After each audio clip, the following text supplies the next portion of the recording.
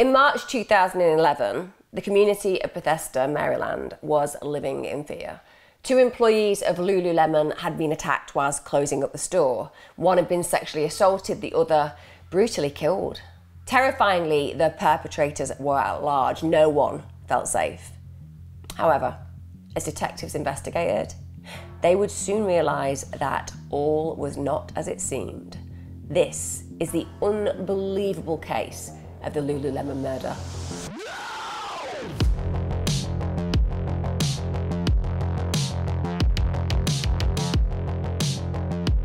Hi, my lovelies. Welcome back to True Crime with me, Emma Kenny. If you are new to this channel, just stumbled across it, it's been recommended potentially, then I release my crime content on a Wednesday and Sunday religiously. So if you like a bit of crime consistency, channel for you. Get your notifications on so you never miss any of my content. Give me a like, give me a comment, get involved with one of my live premieres. We all chat and have fun. And to everybody returning as ever, you know how adored you are. Thank you so much. Also, big thanks to my Patreon and my YouTube membership subs. You genuinely make it so that I can make better content. But to anybody who gives me a view, I really appreciate you. This is an amazing space for me. I love making this content, and you guys make it possible for me to continue to do so. Today's murder that I'm going to talk about is one of those crimes that genuinely will have you taking a sharp intake of breath. So let's get started.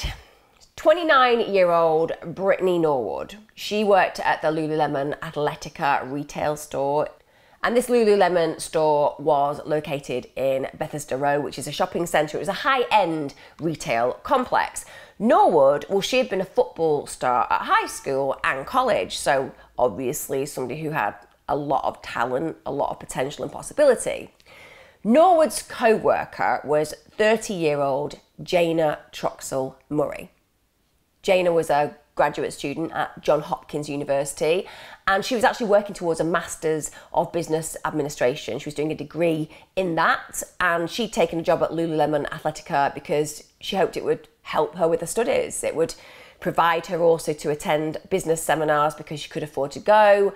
And it just shows you that this was a young woman who really was considering a very bright future. She was certainly working at a level where we can say that she had a lot of potential and she had commitment and dedication, both to the work that she did, but also to the cause that she believed in, in furthering herself as a human being and as an individual taking up a career that she believed in.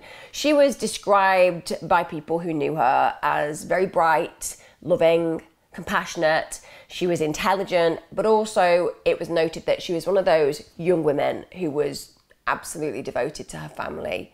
She was very much part of her family unit and felt cherished and loved by them, and also in return reflected those feelings.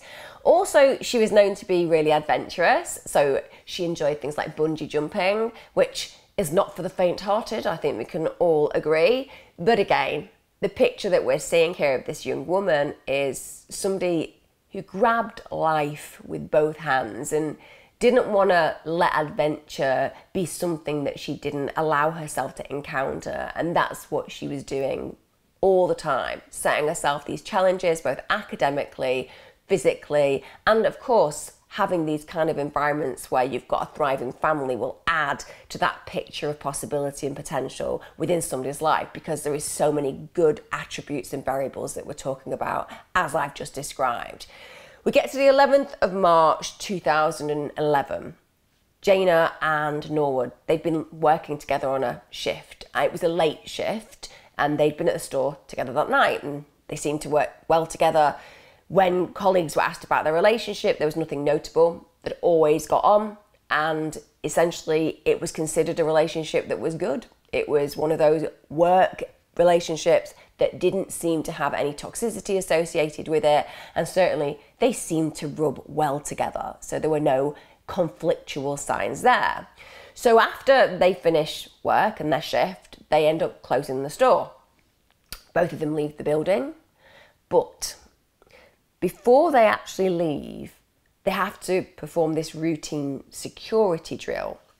And some people will think this is appropriate, some people will think this is inappropriate Personally, I don't think that members of staff should have to do this to each other because I think it places a hell of a lot of responsibility on the members of staff doing this. I think that's why you have security in shops. But this is what they did. Each employee would have to check the other's bags.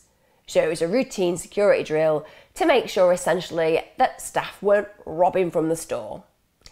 When Jayna looks through Norwood's bag, she's really shocked because she finds some stolen merchandise. She finds a pair of yoga leggings.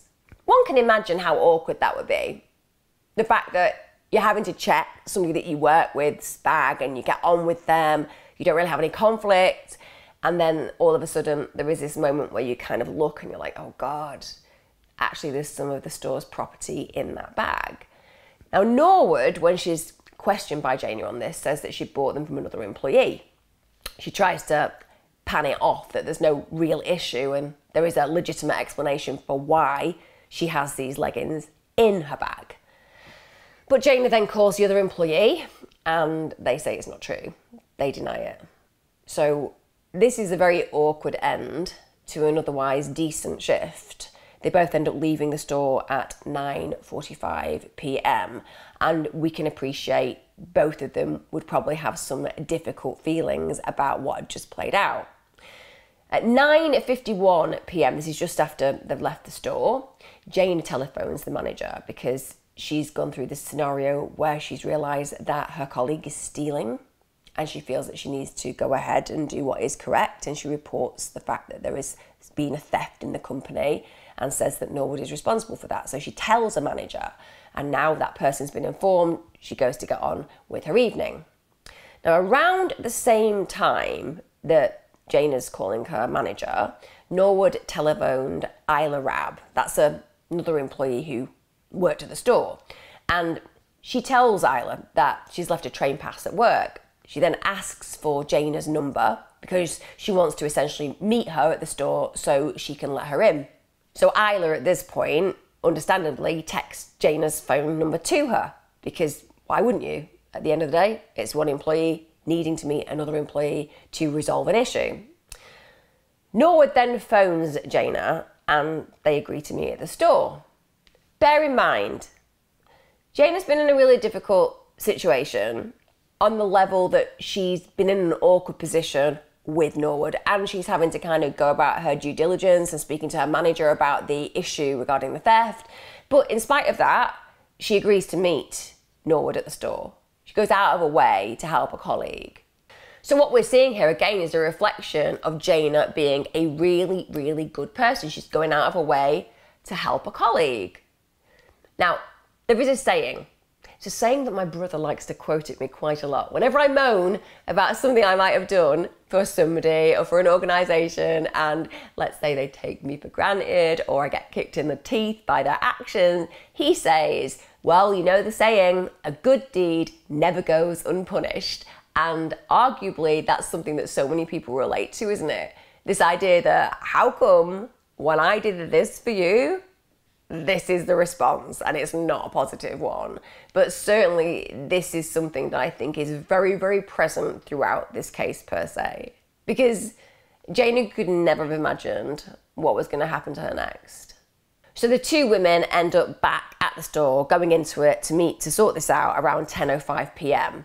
Exactly what then plays out when they're in there, it's never been established. So there are thoughts around how it played out, but it's never been verified entirely. But around this time, so just after 10 pm, we have several Apple employees who are in the adjoining store hearing noises that seem very strange. So from the Lululemon store, they hear a female voice shouting, Talk to me! Don't do this! Talk to me! What's going on? Meanwhile, they can hear another female voice that sounds absolutely hysterical. They said that this was followed by at least 10 minutes of grunting, shouting, thudding, and dragging sounds. Yeah, we know where I'm going to go with this in a minute. Just stay with me on this one. They also heard a high pitched squealing. One of the Apple employees actually was a bit concerned and she asked the security guard to go and check. She also spoke to a manager, but the consensus was that it was just people being dramatic. Yeah, just, sorry, it's just people being dramatic. Like literally, you can hear somebody basically asking for somebody to understand that something doesn't need to occur or that there's a different perspective that could be taken on it, just basically pleading with them to kind of listen and sort something out. Then you hear grunting, dragging, lots of different bizarre noises, and on top of that, a high pitched squeal, and we're like, somebody's just being dramatic. I don't get that stuff.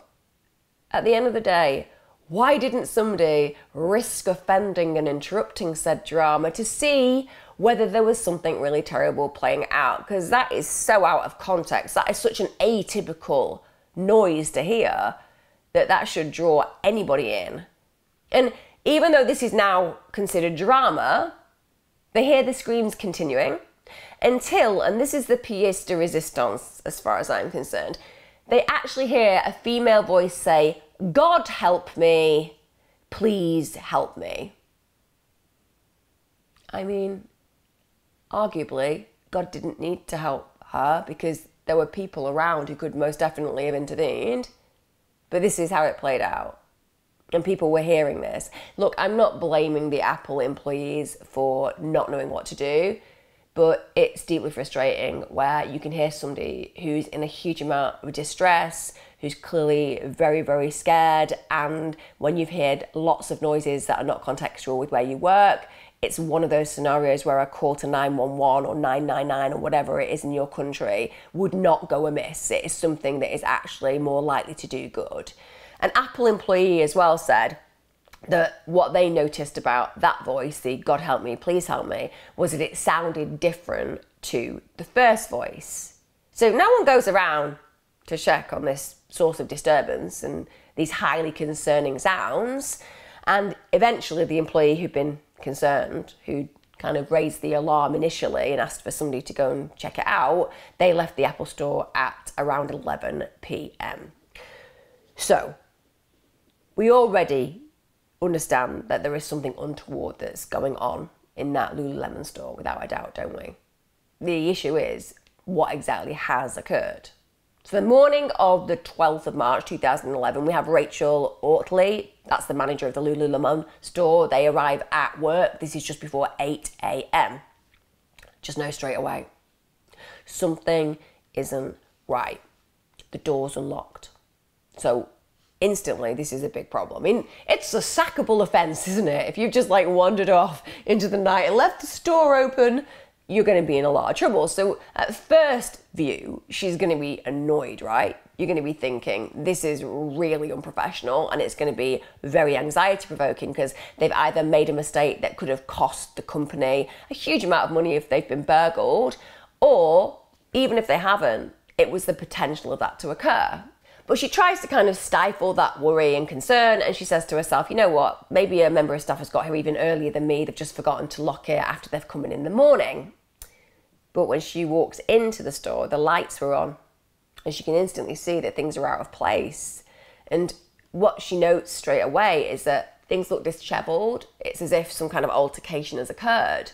So she's really panicking now because this is deeply unusual. She is the manager and these kind of things haven't happened before and she knows her store and she's ready for something to play out.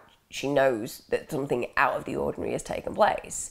So she starts calling out, see if any employees are about. I'm going to be honest, if that had been me, I'd have probably been like, I'm just going to back out of the store quite slowly, looking straight ahead at said store to find somebody from security in the mall to come back with me. Because genuinely think people should always be really careful about their safety and when these kind of things are evident and you're thinking to yourself this doesn't look okay you don't know what you're going to walk into. But while she's kind of checking things out she hears this moaning. So of course at that point she's like okay i don't want to deal with this there is something really scary going on, so she calls 911, which is the right thing to do. Rachel then goes and approaches a man, Ryan Ho. He's waiting outside the Apple store, and that store didn't actually open until 10 a.m. He got there two hours early. He wanted to buy the second generation iPad. Yeah, been released the previous day, and he was ready. He was gonna get the iPad, and he was gonna be one of the first to get it that day. So he was like, two hours early, it's gonna be all right. Clearly, there weren't a lot of people there because Rachel went up to him specifically. But she makes the right decision because she's obviously worried about the moaning that she's heard. She's concerned about the fact that somebody could be in pain or in danger.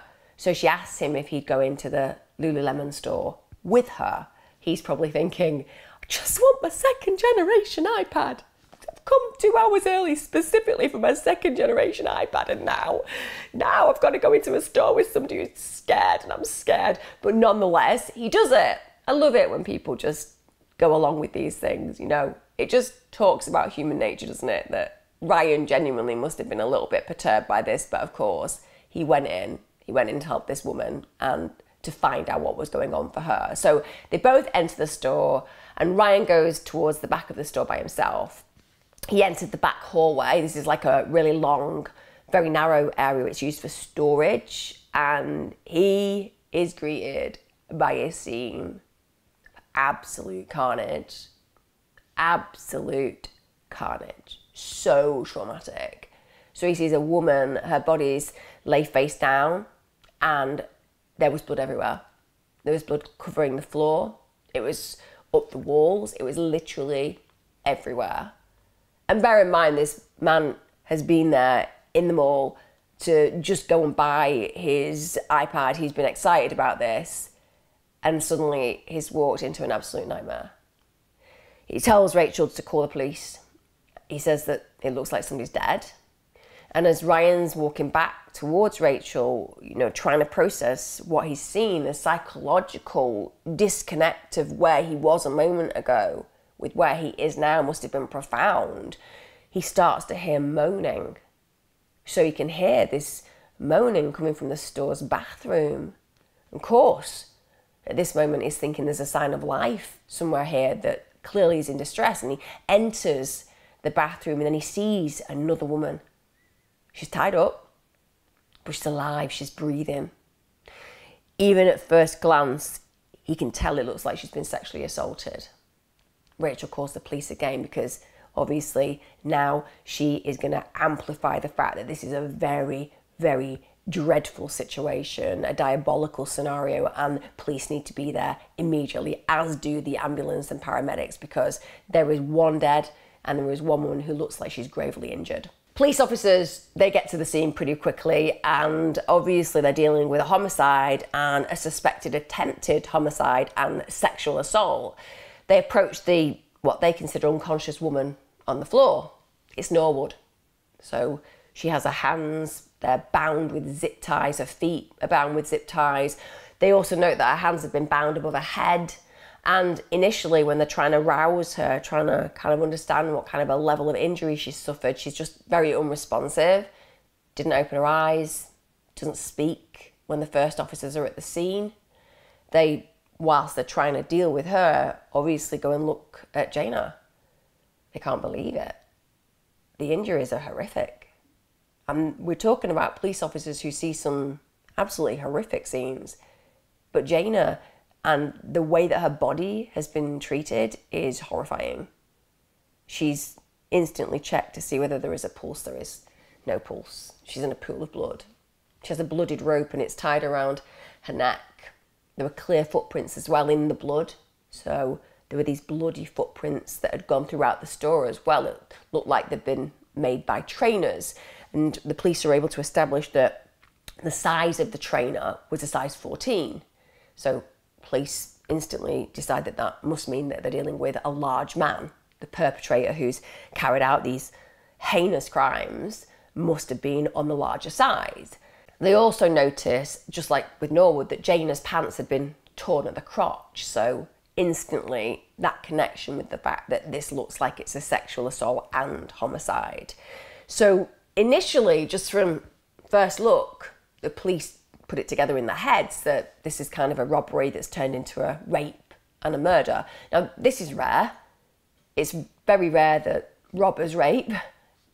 Usually, a criminal has a particular MO and they play out their MO. I'm not saying that you don't have people who rape who also steal. I'm saying that when it comes down to shop robberies, for example, it's quite unusual that an individual or individuals will go in with one intention and then turn into other intentions. So in this case, automatically, that's quite odd because if it was a robbery, there'd have been little or no need to have any kind of sexual element to it. And they do know that the safe had been opened, there were three bags of money that had been removed. So they can see that content has been taken. It's fitting in with this idea that, of course, this has been some horrific robbery and now rape and homicide. The ambulance arrives just about after 8 a.m. and Norwood, of course, a surviving party to this horrific scene of carnage. She's taken to Suburban Hospital. They want to give her a full examination and a police officer, Colin O'Brien, they're working security at the hospital that day. So he meets the ambulance when it arrives and he follows her stretcher into the trauma bay. There's a few things that he notices straight away. For example, he notices a number of cuts on Norwood's chest, her legs and arms. Also, she's got lacerations to her forehead. He notices straight away that her pants are torn at the crotch. And there was another injury that really he connected with. It was a particular injury on a right hand. It was a one to two inch laceration and it was running parallel to her thumb. So he kind of clocks this, stands out to him. The sexual assault nurse then obviously has to examine Norwood, which is just deeply traumatic for anybody who's ever been through a scenario where they've been sexually assaulted when you have to have the rape kit examination, which is all about making sure that you can get DNA, check for injury, evidence bruising, all of these things are re traumatizing. Because at the end of the day, when somebody's gone through an awful sexual assault, the last thing that you want is for a stranger to be anywhere near your private areas because you feel like they've been violated anyway. So for Norwood, had she been raped at this moment in time, this would be incredibly distressing for her. But sexual assault nurse can't actually find any evidence of the sexual assault, which I guess is something that can occur. Arguably, not all rapes are acutely violent in a sense where it might create bruising, but it doesn't mean that the rape didn't occur. Certainly, that's not the case. But when you think about the level of violence perpetrated in the crime I've described, we're talking about two women, one of whom is dead. Arguably, it feels a little bit uncommon and atypical to imagine that there wouldn't be any kind of traces of violence to the genitalia within a sexual assault when you consider the level of violence elsewhere. Now, aside from Norwood and the injuries that she sustained, they need to establish what on earth has happened to Jayna. They do the autopsy, and it's shocking because they find out that she's basically been attacked with multiple weapons. They were able to discover in that autopsy that she'd sustained more than 300 individual injuries. This included multiple fractures to her skull. She had over 100 defensive wounds where she was trying to protect herself. And the medical examiner, who actually looked at her body after her death and wrote the report on this, said that it was the most defense wounds that they'd ever seen in their entire career. There were injuries to her head, her face, her neck, her back, to her extremities. So every part of her body.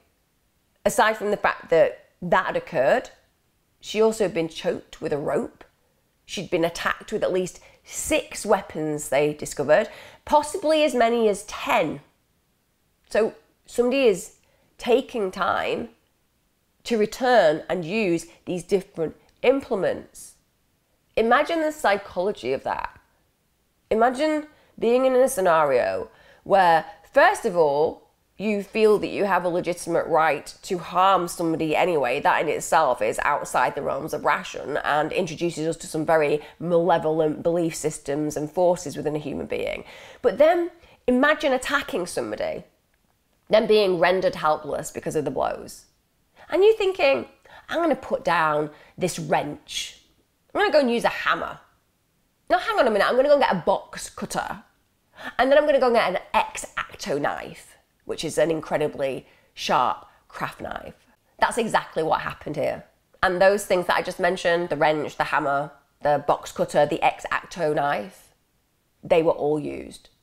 And there were more items used in that.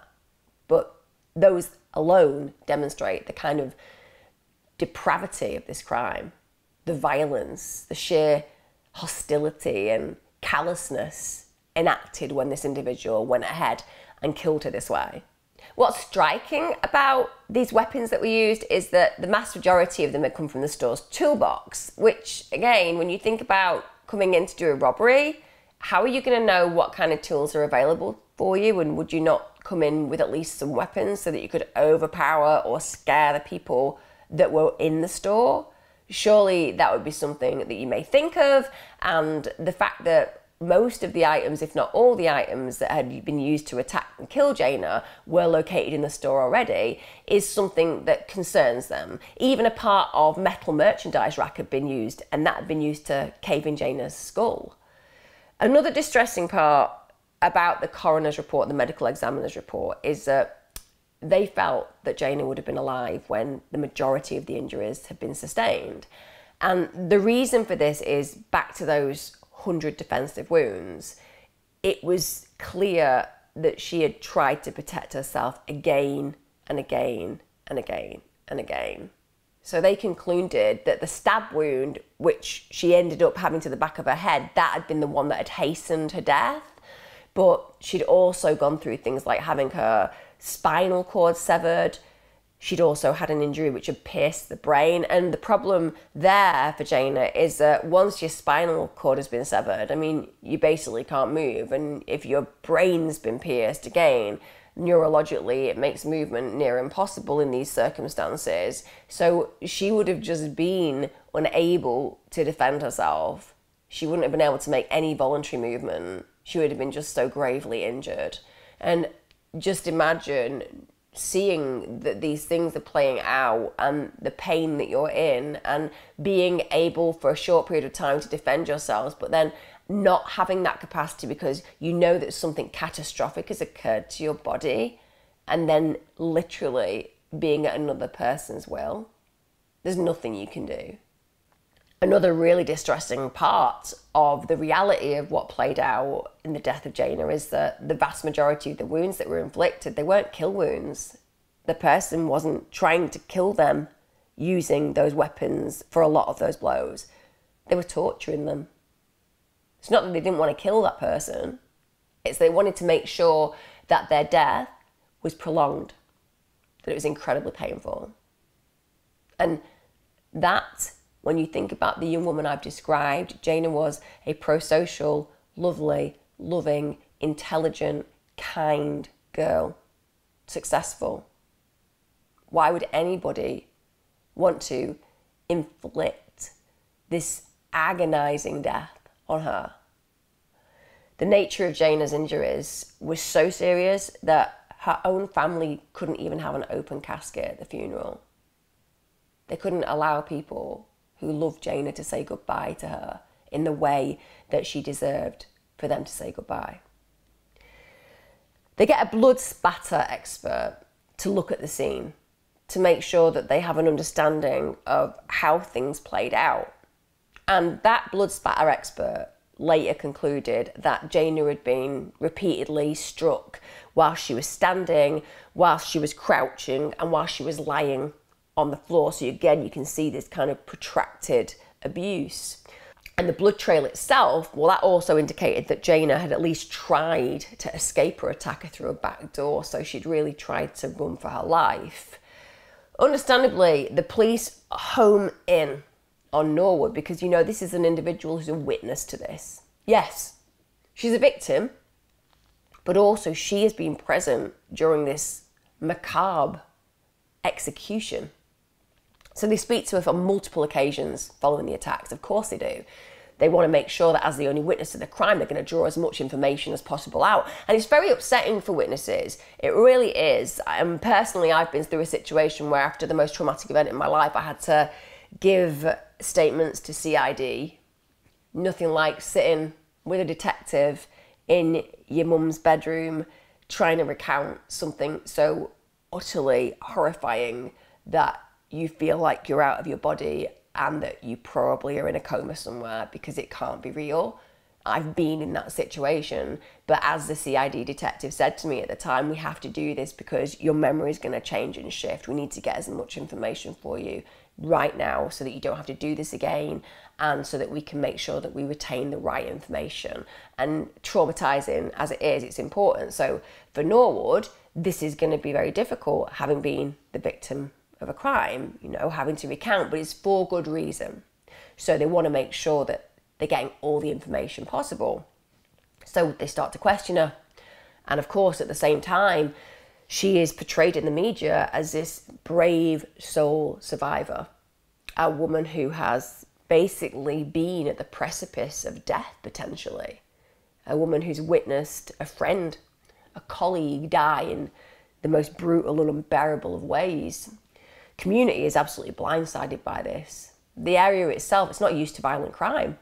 This is extraordinarily unusual. So people are invested. They're invested in Norwood's story. They're invested in Jayna's death. Most of all, they're invested in bringing the violent perpetrators and rapists to justice as they deserve. We get to 10:25 a.m. This is on the 12th of March 2011 detective from Montgomery County Police Department speaks to Norwood in hospital. And after 45 minutes of that interview, the detective goes over to the Lululemon store. After he's done that, he returns again later that afternoon to speak with Norwood because the police are just desperate to identify a suspect. So during the interview, Norwood gets to recount what's happened. And she says that she and Jayna entered the store. And at this point, two men that they hadn't noticed who were wearing masks at the time, they'd slipped in behind them. So, arguably, they just innocently walked into the store, unbeknownst to them, being followed by these violent perpetrators. Norwood is also able to describe the attack in pretty significant detail, and she says that she got raped and she was sexually assaulted as well with a wooden clothes hanger. So, horrifying intimate details of that horrific assault. She also said that she witnessed Jayna getting sexually assaulted and raped, but that Jayna resisted. And when she resisted, that's when she was killed. So, of course, Manhunt is launched straight away. They've got two suspects, and there is a reward of over $150,000 that's offered to catch the perpetrators, which is a huge incentive. I mean, these kind of amounts of money, they're not to be sniffed at. And you can bet your bottom dollar there have been cases out there that there's not been a sniff of suspicion on anybody. And then they put out a pretty substantial reward and people squeal. People are like, you know what? I think I do remember somebody turning up with a bloody t shirt. And you know what? I do think that my cousin mentioned A, B, or C, and that is something that is a real incentive. So they clearly want to make sure that these people are arrested ASAP before they get to do any more damage. Because we're talking not just about violent robbers, which in itself is a whole category of terrible. We are talking about the most violent kind of human beings. They're predators, they're sexual assaulters and rapists, and they're murderers. So you cannot get more terrifying than this kind of pen portrait of possibility as far as a potential perpetrator is. We get to approximately 8 pm, 14th of March, and again, the detectives want to speak to Norwood. They need to piece this puzzle together. They go to her home to do so. They just want to check out whether she remembers any additional details. What we know with police interviews is that very often people start to remember things as time goes on. This belief that people are embellishing memories because they're remembering new information, well, that isn't necessarily true. I mean, it is in certain circumstances, people just lie and just make stuff up. And anybody who watched the Amber Heard trial may feel that some of the suggestions that she made whilst talking about the abuse that she said that she suffered with Johnny Depp didn't really resonate as realistic when you tallied it with potential injuries, information, and other evidence that was imparted in that case. And the problem with that is because she was remembering things that seemed outlandish, it didn't seem truthful. But that doesn't mean that people cannot remember things that are different after trauma because you're in the eye of the storm, you have dealt with something truly heinous, your brain is overwhelmed, and you need space and time to calm. And it's when you've had that moment to take a breath that you can start thinking, hang on, this happened or that happened or they said that or they sounded like this or I remember a specific tattoo that they had on their hand and so on and so forth. These are really important fragments that together can piece together something really, really powerful. So that's why she's being interviewed again and again and again, just to check out whether there are any other pieces of information. So they're all sat around the table in the living room at Norwoods, and again, Norwood starts to talk about the fact that she'd been sexually assaulted, which would be incredibly upsetting for her. She explains that Jayna was attacked by one man and that she gets attacked by the other man. And her attacker was wearing black clothing, ski type mask, wearing gloves as well. And she said that based on his voice, because bear in mind she couldn't see his body, she thought he was in his mid 20s and Caucasian she said that he was approximately five foot five inches, about medium build, and she recollected hearing him unzip his pants before he assaults her, which must have been horrific. Now, during the attack, he also refers to her as a dirty slut. He also used racially abusive terms, which would be so distressing in such a scenario that somebody is being so deriding of you, both on a ethnicity level, but also as a woman, as a female, being called those provocatively insulting names, such as slut. And then she described Jayna's attacker, and she said that he was bigger. He was about six feet tall, had an average build, but he was also wearing this black clothing, a ski type mask, and again, she said just based on his voice, he sounded Caucasian. She actually became very upset when she's recounting what happened. She had tears in her eyes. She looked down a lot. So, what we say when people are looking down is they're looking at feelings, you know, they're in their feelings. When they're looking up, they're looking at thoughts. So, you know, to some degree, that's a very authentic way of communicating, you know, looking down and feeling that difficult stuff. She avoided eye contact a lot as well. Again, that can sometimes be considered deceptive, but it can also be, I feel really uncomfortable talking about this information. So it's contextual. She also goes on to talk about the fact that the reason that she thinks that she wasn't killed, as Jayna had been, is that her attacker had told her that she was fun to F. So that basically having sex with her was fun, and that's why he left her alive. So after assaulting her and her going through this brutal ordeal, they then pushed her onto Jayna's battered, bloody body. So truly terrifying. Now, Norwood also informs the detectives something really scary. She says that the attackers knew her name and address. And she says that the reason that she believes that they knew her name and address was they must have seen it on one of her utility bills in a purse. So the detectives are like, well, have you informed your family? They need to know that they're potentially at risk. So then she does what they've advised. And of course, Norwood's family are terrified. They're really concerned because these guys are dangerous killers and they know where she lives and she's a living witness. That in itself puts her in a very precarious situation and it puts her family in a very precarious situation. So, investigators are really concerned about Norwood's safety. They're also worried about the welfare of her family, and her family are concerned. In fact, they feel like they want to move back to Seattle but it turns out that Norwood doesn't want to because she's been offered a new job in Bethesda.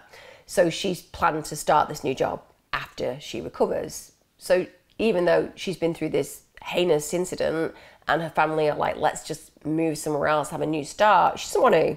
She wants to stay where she's familiar and she wants to start this new job that she's achieved. Whilst the detectives are gathering all this information from Norwood Forensics, they're also working at the crime scene.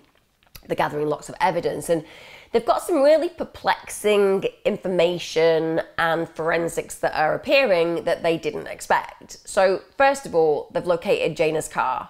It was three blocks away from the store. And even though that in itself is a little bit odd, why was it three blocks away from the store where she died? What's more concerning is they've got traces of Jayna's blood in the vehicle. But that's not the only blood in the vehicle. Norwood's blood is also found. Three blocks away from where this violent crime played out, they find blood on the door handle, on the gear stick, and the steering wheel of essentially both parties. That disturbs them. That really doesn't make sense. And police are also growing a little bit suspicious about Norwood's description of her attackers because bear in mind, when she's been asked to describe them and they were completely covered in black, she only had the voices to go on, she describes them as racist, raping, murdering robbers, the worst people, the worst criminals you could possibly ever describe. Also, the police are going around different shops to try to piece together what had played out on that fateful evening. And they speak to the Apple employees next door who obviously are going to tell them they heard two female voices and all this distressing content that I talked about at the very beginning of the video.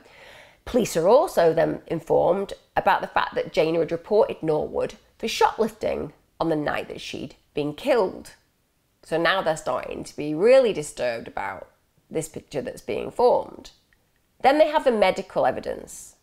The examination found absolutely no evidence to support whatsoever that any sexual assaults had occurred, as alleged by Norwood. Things didn't add up. So now we have a very different picture forming in those investigators' minds. We get to approximately 5 pm, 16th of March 2011. Detectives they go back and speak with Norwood. This is for the third time. And this time they've brought her into police headquarters. Now, there's a reason that they want to speak to her at headquarters because they literally no longer consider her a victim. When you're talking to a victim, you want to make them feel comfortable, you want to make them feel safe, you want to make them feel heard, valued, and most of all, you want to let them know that they're not under suspicion because they have to be on your side as you investigate this case and try to find the perpetrators responsible. But you bring people in for proper interviews, usually when they kind of fit the potential of being a suspect. It makes them uncomfortable. Anyone who's ever been interviewed by the police in a room when you're getting asked questions and you've even read your rights, it is terrifying even when you're completely innocent. That's why people who are innocent confess to crimes they didn't do. Because it's exhausting, scary, abandoning, isolating, and really outside of the realms of what you usually experience and encounter in life. So now they've got this suspicion that she's a suspect, they get her in to describe once again how the attack of these two men play out. She starts to talk about it, but then they kind of throw in. By the way, do you know the type of car that Jayna drove? And Norwood says no. I don't know what car she drives and only saw it passing, so she doesn't connect with this moment. She's not giving the police anything. She's certainly not identifying that she's ever been in the car. And then they ask her directly, Have you ever been in the car with Jayna? No, she says, Absolutely not. Never been in that car. Don't even know what kind of car it is. But the police already know that Norwood has been in the car. She's been in the vehicle, and the likelihood is, from what they've been able to pick up from forensics, is she was probably driving the vehicle because of the way her blood traces were there. Also, got to add up the fact that the attackers hadn't been armed. Very unusual for people who are coming in to do this incredibly violent robbery to literally walk in without any weapons. And the fact that they knew where to find the weapons. Why would they know where the store's toolbox was, why would they have time to then go to that toolbox and get those items to harm both those women? It's starting to really seem outside the realms of reality. Another thing that doesn't add up is the way that she was bound.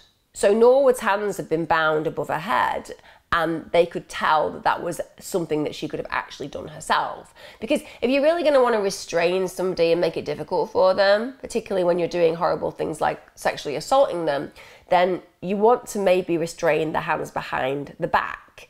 And they had chosen apparently not to do that.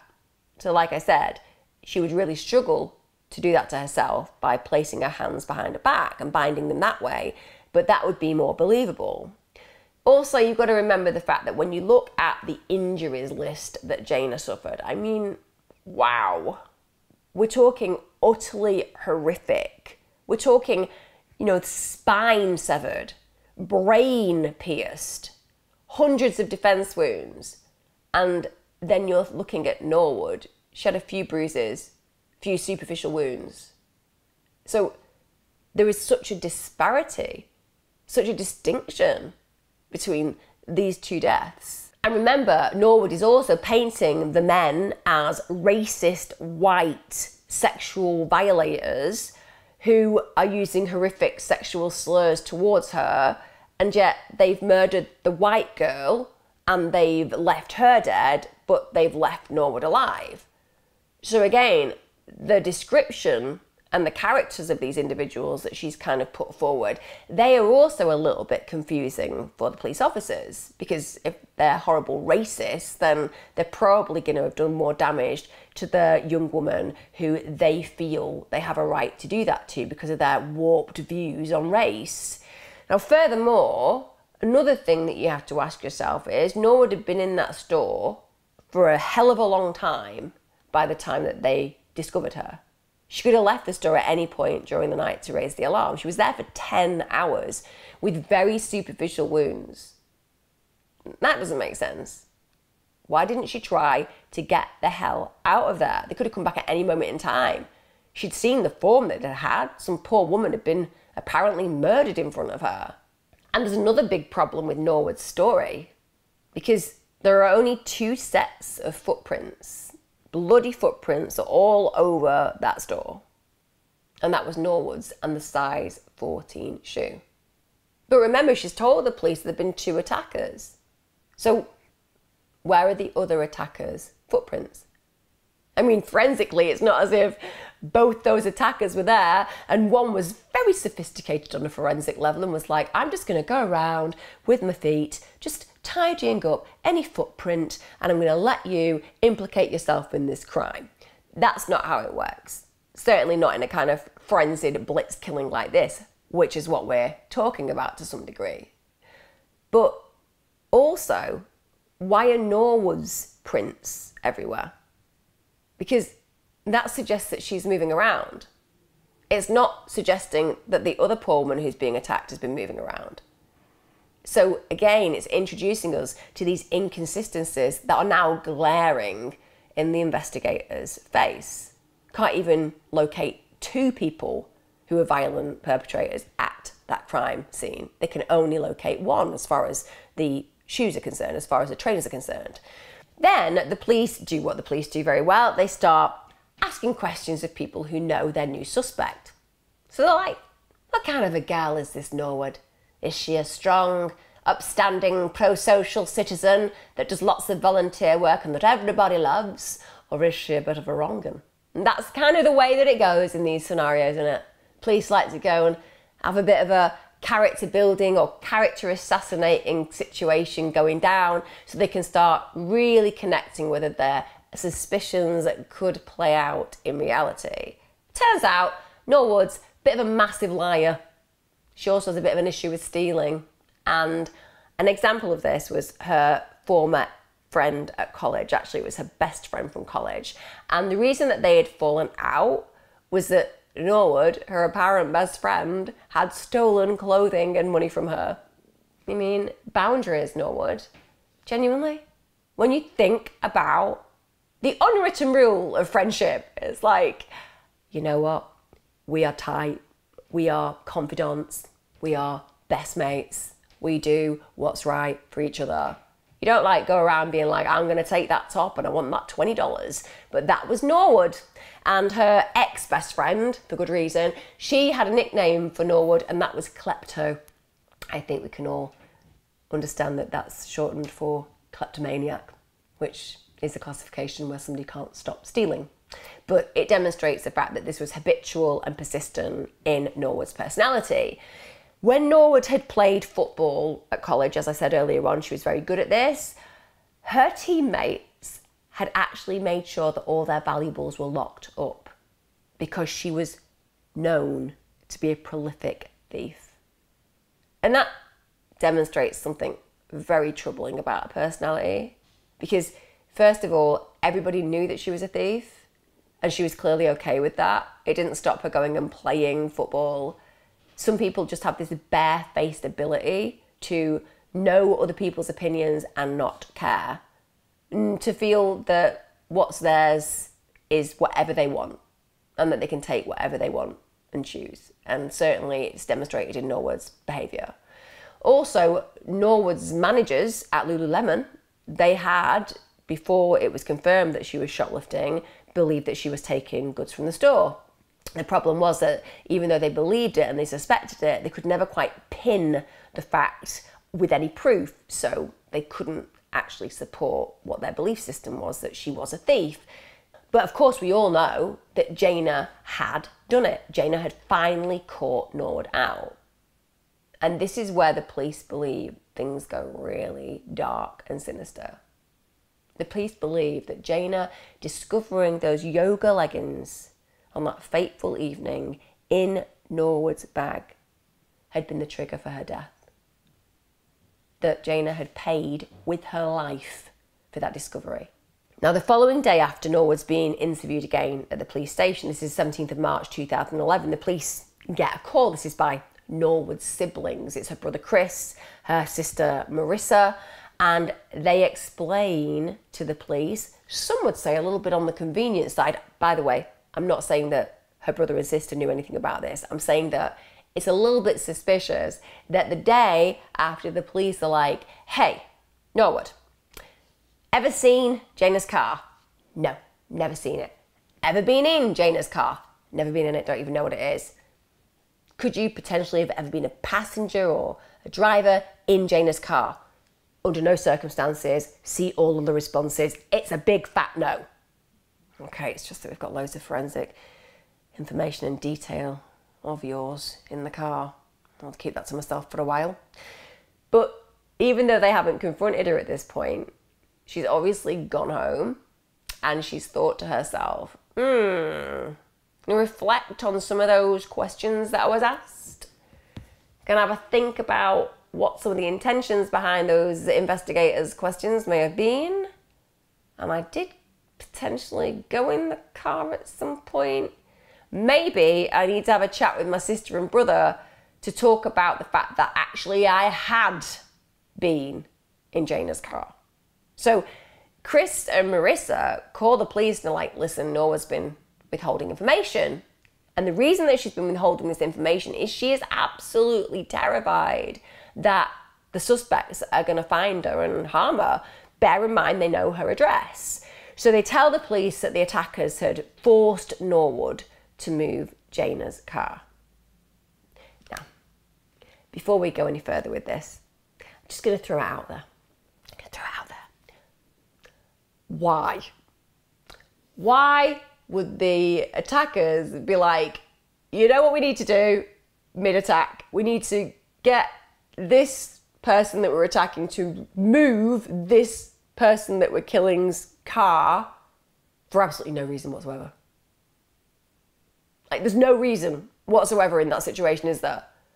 Why would they ask her to move Jayna's car? But this is the way that the story goes. So then we get to the 18th of March 2011, and the police bring Norwood in again, again at the police headquarters. She's kind of just having general chit chat, she's talking about plans for the future and just kind of small talk, which a lot of people do when they're nervous when we want to build rapport with people, we often talk about little facets of our lives because we want to give them opportunities to connect with us. And when we're nervous, it fills gaps and means that the silence that is quite intimidating doesn't have to necessarily occur.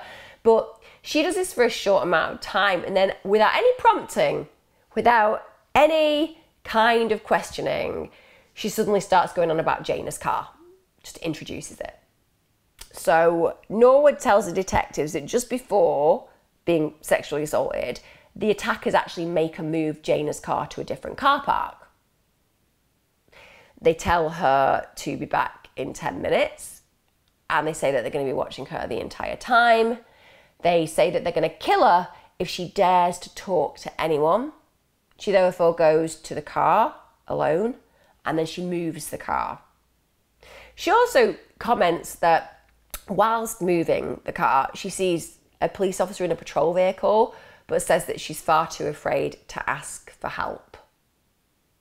So I'm not going to pretend for one minute that in certain circumstances, somebody will act in a way where they do irrational and illogical things because they believe that they are protecting somebody that they love. That is absolutely evidence based in lots of crime stories where people have literally been in public, gone to banks and withdrawn huge amounts of money, been in scenarios where they're kidnapped but are allowed to go out with their perpetrator of that kidnap and they stay quiet and don't ask for help because there are consequences associated with that, such as their own death or the death of a person that somebody has whilst they are going about their business doing whatever they're meant to be doing for the perpetrator.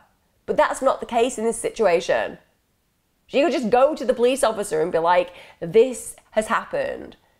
Why, when she's got in a car and she's free, does she not do this? Because these guys can't watch her when she's three blocks away in a car. It's impossible. They're not God. They're not omnipotent, omniscient, or omnipresent, are they? They can only be what human beings are. So the detectives are like, that doesn't make sense. Why did you go back to Lululemon when you moved Jayna's car? Just why didn't you drive away, get help? Norwood just again reinforces his idea. I was just afraid for my life. The attackers knew where I lived. But this is bizarre. You know, she's witnessed her co worker apparently at this point murdered and then she's gone back to the store. Explain to you guys how it that night played out. Mm-hmm. Prior to him sexually assaulting me and zip tying me, they made me move her car. Okay. I know where her car is.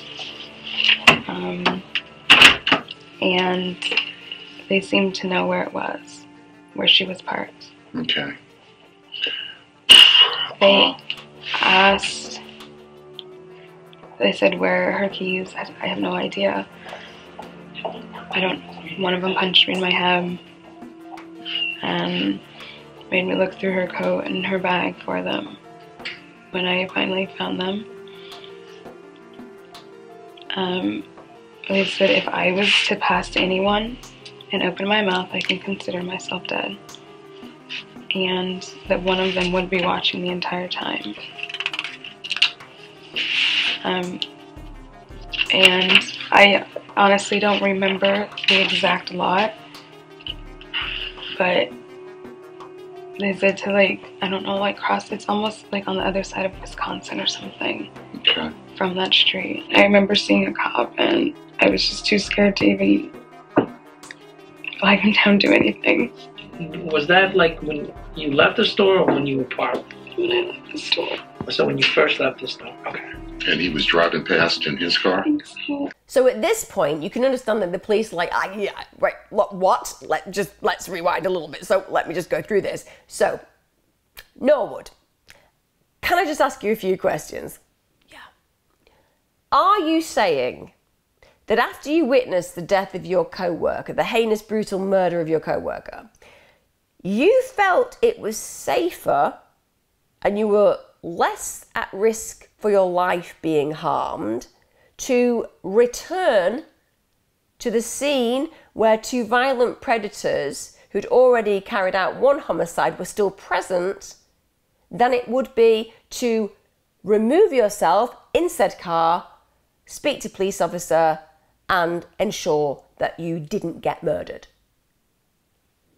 yeah, it felt safer going back to the store. Even though there were murderers there. Yeah, yeah. Even though you had a car, meaning they couldn't watch you, meaning that you could just get away. Yeah. Even though you saw a police officer, literally you saw one, they were there, they were there, and you could have just said, There's a terrible thing happening. Can you come and help me? Yeah, yeah. It was, it was miles more logical to go back to the store with two violent perpetrators who just murdered my co worker because they said that if I didn't, they'd kill me. Yeah. Okay. Just imagine where investigators were in that moment in time. And to add to this, you know, it's massively improbable. The car was three blocks away, so she would have had to have walked three blocks back to the store at 10 pm on a busy Friday night where lots of people would have seen her covered in blood. But apparently, no one had noticed. Not even the Apple store workers who heard all the kerfuffle. Yeah, no one had seen her. So, what detectives believe is that the car had been moved way later than Norwood had said, and that Norwood was just changing the story to fit the evidence. And there's one point during the interview where Norwood's frustration becomes pretty evident, and she says to the detectives, We've been over this.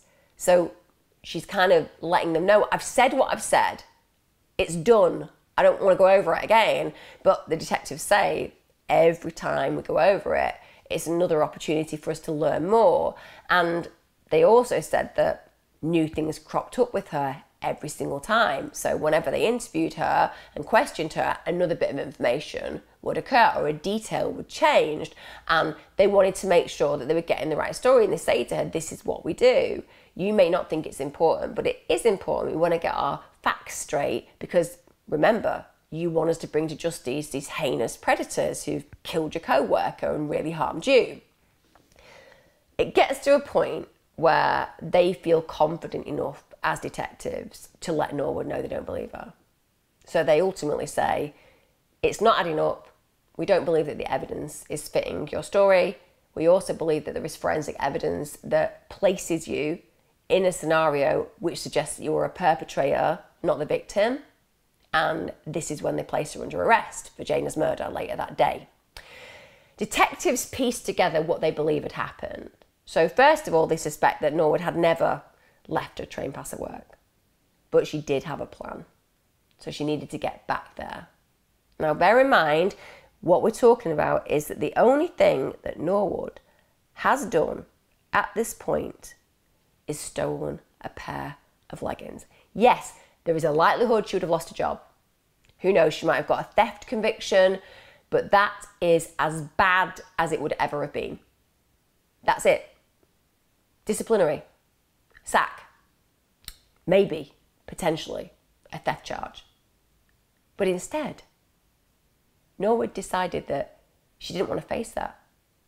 She didn't want to be found culpable for that issue. She doesn't want Jayna snitching on her about that. Instead, Norwood's plan takes her down an entirely different path, and she lures Jayna into a death trap. Upon entering the store, detectives believe that Norwood had begun to argue with Jayna about the leggings. Then the brutal assault begins. And she possibly even had hoped that she'd dissuade Jayna from reporting the theft so that she could kind of force her not to tell the manager about the fact that she'd stolen these leggings. But then she likely found out that she'd already been reported. And this is what triggers her. So she attacks her. Police also believe that there was premeditation associated with this crime because, wow, it would have taken so much time to inflict the 300 plus injuries that we were talking about that Jayna suffered. And also remember, she'd basically gone around gathering lots of weapons from the actual store itself to use in the attack. And those weapons had been taken from various locations. And finally, when you think about what the Apple employees heard, they heard the commotion lasting at least 10 minutes. So again, we've got evidence of premeditation. And again, remember the security officer at the hospital, the person who'd observed the cuts on Norwood's palm that had run parallel to a thumb well, the reason that his attention had been drawn to it, and this is just how inquisitive some people are, and how knowledgeable they are about these things. And this is what I say about witnesses who attend certain scenes and circumstances. Sometimes they just know something isn't right. And this man, he was a former army medic. And he said it's actually caused when a blade slips from one's grip and slides down the hand. So this supports the detective's suspicions that Norwood had basically wielded the knife that had been used to kill Jayna. And of course, that had led to Norwood's hand injury being self inflicted. Detectives then believed that she'd kind of created this scene where she looked like a victim, so she'd given herself some minor wounds, she'd slit the crotch of her trousers. They then believed that Norwood had used a pair of size 14 Reebok tennis shoes to create bloody footprints at the crime scene. Now, those pairs of trainers, they were available to her because they were kept in store so that customers could use when they were trying on Lululemon clothing. So they're painting this scene that she's just perpetrated to make herself look innocent. And then they believed that the reason that Norwood had moved Jayna's car was because it had been parked double outside the store, meaning that it would have meant that people would have been wondering what had played out and why was it there. It would have alerted people there was something wrong. So effectively, when she'd moved that car, it gave her 10 hours to come up with some kind of plan and also, of course, to doctor the crime scene. She'd ultimately staged a robbery by moving items around the store. She'd opened a safe. She'd removed bags of money. Then she'd bound her wrists, she'd bound her ankles, and just lay down and waited overnight. Just waited until staff arrived so that they could discover her, so they could add weight to this belief that she was a victim. And finally, she'd tried to do the ultimate. She tried to fool the police with this elaborate tale about a pair of masked intruders we get to the trial, and with respect at this point, as far as I'm concerned, she's banged to rights. They've got so much forensic information, and also the crime itself just didn't make sense. And we know that she's lied about lots of different things, and there's a lot of evidence about her personality and her traits that are certainly concerning and lend weight to the belief that she's guilty. So, trial commences late October 2011. It's in Montgomery County, Maryland, and it's overwhelming the forensic evidence against her.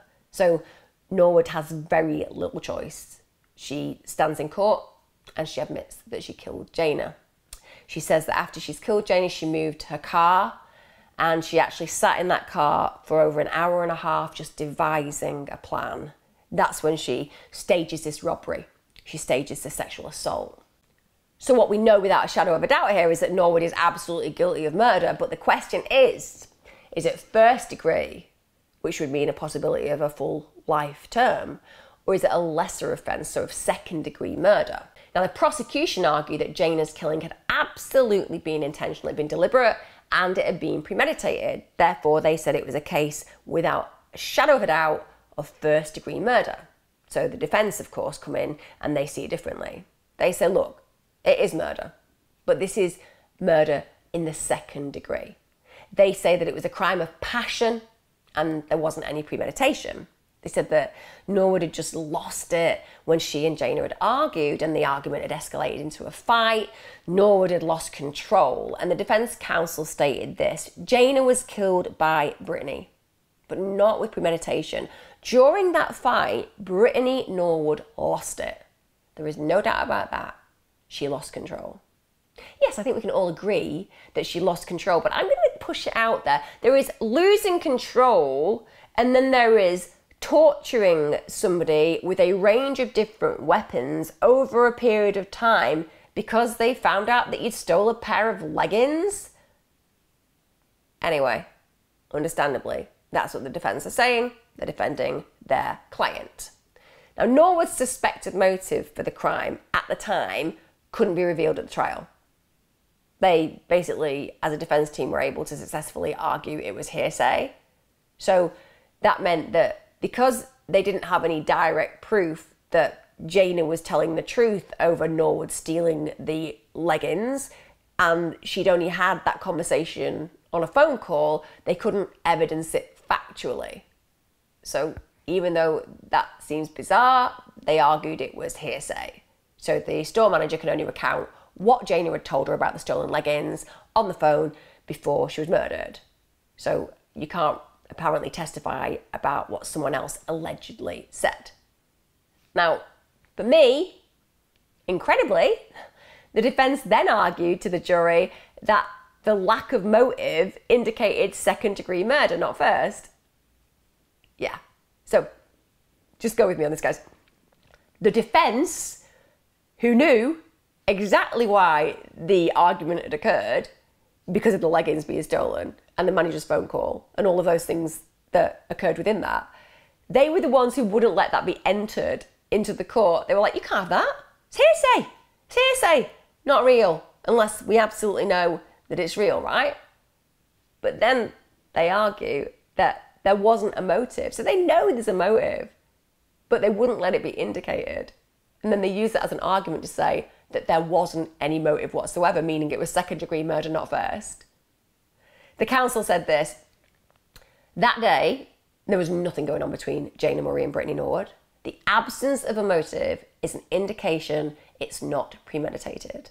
This is not a crime of motive, that is a crime of passion. Now, of course, if the evidence of the actual motive that we all know existed had been allowed, it would have made the jury's task really easy because they would have been able to directly align the behaviour before the attack, i.e., stealing of the leggings and Jayna discovering them and telling the manager, with the actual attack that occurred. But this is how the defence want to play it. There are so many sneaky tricks that defence and prosecution use, aren't there, in these cases? So we get to the 4th of November 2011. There's been an eight day trial. The jury, they go to deliberate, it takes them less than one hour. They find Norwood guilty of Jayna's first degree murder. So, in spite of the defence playing the games, trying to suggest it's a crime of passion, the jury don't buy it. 27th of January 2012, the judge sentences Norwood to life imprisonment without the possibility of parole. They describe the attack as cold blooded, brutal, calculated, deliberate, devious, and malicious. Now, Norwood had asked the judge for the chance of life with the possibility of parole. She claimed that she asked more for her mother and her father rather than for herself. Sure, that's the one. I don't want freedom. It's not me asking for freedom. I want freedom so that my parents can have me having freedom.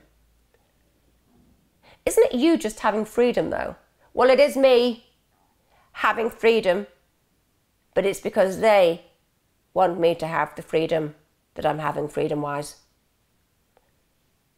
But fortunately, the judge is like, I don't believe you. I'm completely unmoved by your pleas because of the prolonged brutality of the killing and because, more than anything, this remorseless cover up attempt. At the end of the day, if she had killed that poor young woman and then admitted it straight away and said, I've made a terrible mistake, please punish me, you wouldn't have sympathy, but at least you would see there was a humane side to her nature, even if it's just a tiny slither of it. But she didn't. She fabricated a whole cover up. She wanted to get away with it. The judge said this I have no doubt that you are a deeply troubled woman. However, my sympathy for your plight does not begin, does not begin to approach what I feel for the Murray family. You will live. You'll see another sunrise, another sunset, maybe through a prison window. There'll be Christmases, there'll be telephone calls, there'll be visits. The only visits Jayna Murray will have are those to her grave. Now, Norwood did briefly address Jayna's family in court, and she said, Before I go to prison, I needed you to hear how deeply sorry I am. I know whatever I say today won't take the pain away for the loss of Jayna. My hope for your family is that someday you'll be able to find forgiveness in your heart. I'm truly sorry. Now, that had actually been the first expression of remorse throughout the entire investigation and the trial. And Jayna's family would later state that they genuinely felt it was just an attempt to get a lighter sentence. Jayna's mother, Phyllis, described losing their daughter as a pain that ripped through our bodies. The grief is like a lightning strike. I believe that Phyllis describes that very well. I haven't lost a child to murder, but realistically, it has to be the most traumatic, agonizing pain, and it must rip you to your very foundations beyond a shadow of a doubt. Jayna's sister in law spoke as well about the impact on her family. She said there's no hope, there's no joy, there's no true laughter. Psychologically, I connect with that so well that when you lose somebody in traumatic circumstances that you just held in such esteem and that was just a massive centre of your family, when their life is snuffed out traumatically, it redefines who you are and it redefines what you are. It redefines everything about your family, and it will do from that moment on. The senseless nature of Jayna's murder is just astounding for me. All she did was catch Norwood stealing. You know, before this, Norwood had no criminal record.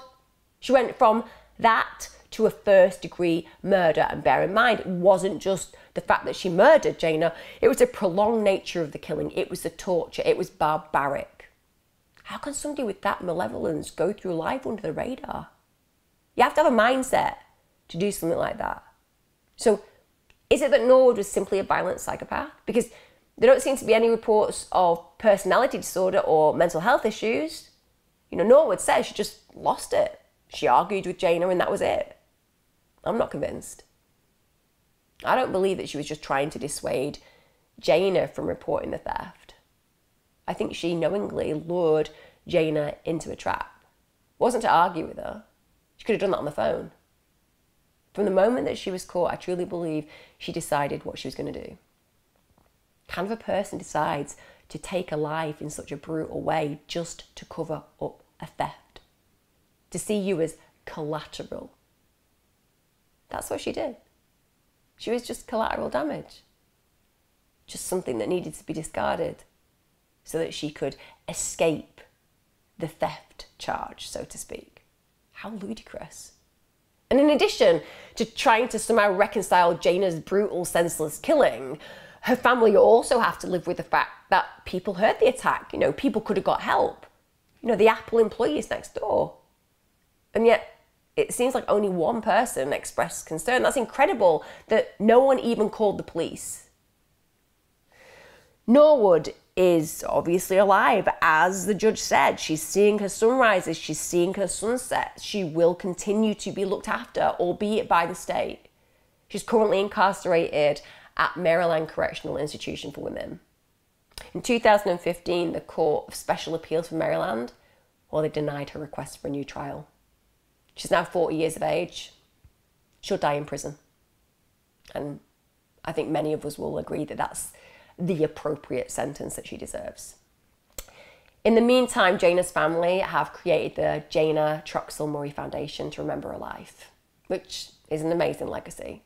And mother said of Jayna, people have always commented that it was her smile and it was her hugs, whether she knew you for two seconds or years.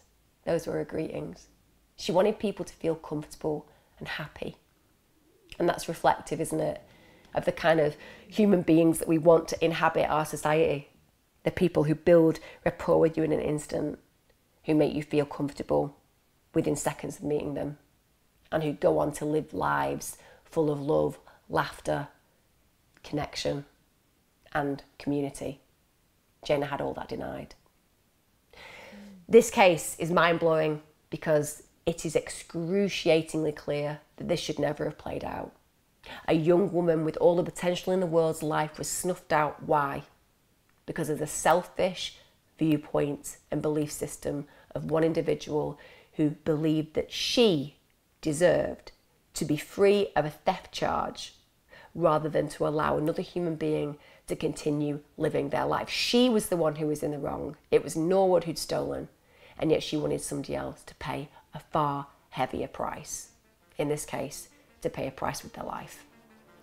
Let me know if you found this case interesting. What are your thoughts? It's astounding, isn't it, that this could occur? Give me a thought about people not getting involved and why don't people call the police? What's going on there? Leave me a comment, get your notifications on if you want to see more of my content, subscribe, and also give me a like if you've liked it. Most of all, thanks for joining me here. Like I said, Patreon's got some new podcasts out there. Thanks to all my YouTube members. If you want to join there as well, we get involved with lots of community chat. But more than anything else, thank you so much. See you again next time for True Crime with me, Emma Kenny. And remember, guys, be safe.